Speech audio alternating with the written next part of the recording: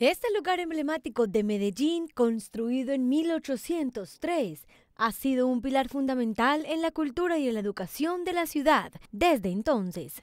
Aquí, por ejemplo, se creó la primera institución educativa de la ciudad y también se presentó la primera obra de teatro que pudimos disfrutar en Medellín.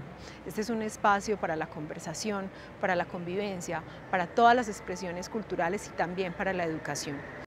Este edificio patrimonial de 220 años inició un proceso de renovación y repotenciación en el 2021, una intervención que abarca 3.944 metros cuadrados. En esta primera etapa entregaremos, por ejemplo, una sala de cine donde funcionará Cinema con Fama en la antigua capilla. También tendremos el patio teatro, un gran espacio que se integra con la plazuela San Ignacio y que es propicio para la realización de grandes eventos. También tendremos la librería, tendremos el café, tendremos el restaurante, tendremos salas de exposiciones y muchos espacios más para seguir construyendo juntos a través de las expresiones artísticas estas nuevas miradas de convivir, de vivir el mundo y de disfrutar la vida. La primera etapa de la renovación, parte integral del conjunto patrimonial San Ignacio en Medellín, será inaugurada el 30 de octubre de 2023.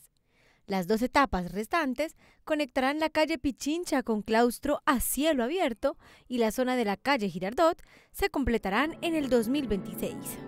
Con la finalización de este proyecto, se estima que el lugar pueda albergar a 66.000 estudiantes de educación para la vida y recibir a 2.800.000 visitantes al año.